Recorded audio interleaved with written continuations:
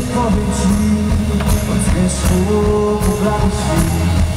Świat jest stworzony dla To jest chyba największy taki festiwal, więc y, trudno go porównać z y, jakimkolwiek innym. Nasz koncert był ok, aczkolwiek y, powtarzam to w każdym wywiadzie, zawsze jest pora, y, jak na takie dźwięki trochę depresyjne, trochę klimatyczne. No i byłem wkurzony, że nie padał deszcz.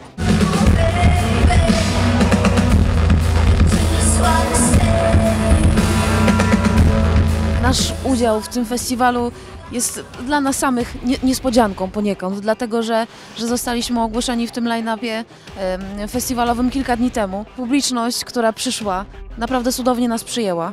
E, Także grało nam się cudownie i reakcje ludzi były naprawdę przepiękne.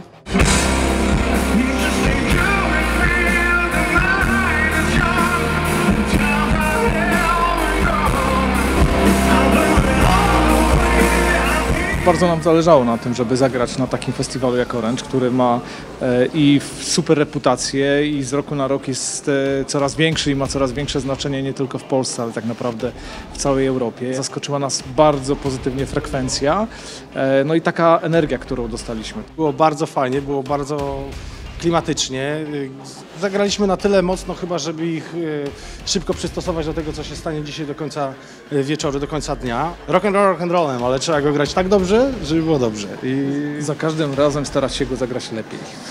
zgadza się.